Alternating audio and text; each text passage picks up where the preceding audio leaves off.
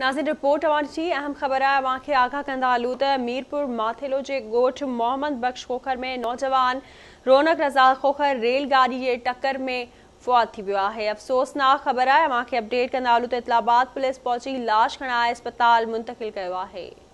नाज़रीन breaking news अवां सां शेयर कंदासीं मीरपुर माथेलो माँ ॻोठ मोहम्मद बख़्श खोखर में नौजवान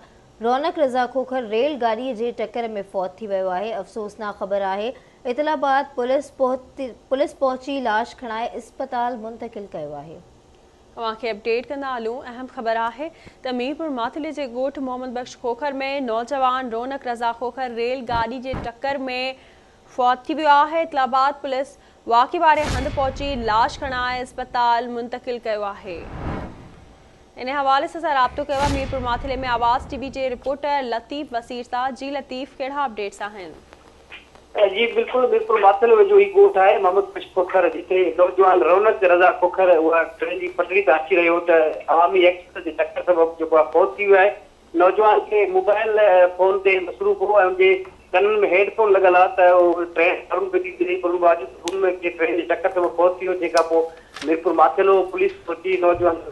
संभाल। कयो वे घर में रोज़ मसइलो आहे हीउ ॻोठ मोहम्मद जो नौजवान है ट्रेन के चक्कर में जी? वरी मेहरबानी अपडेट करण लाइ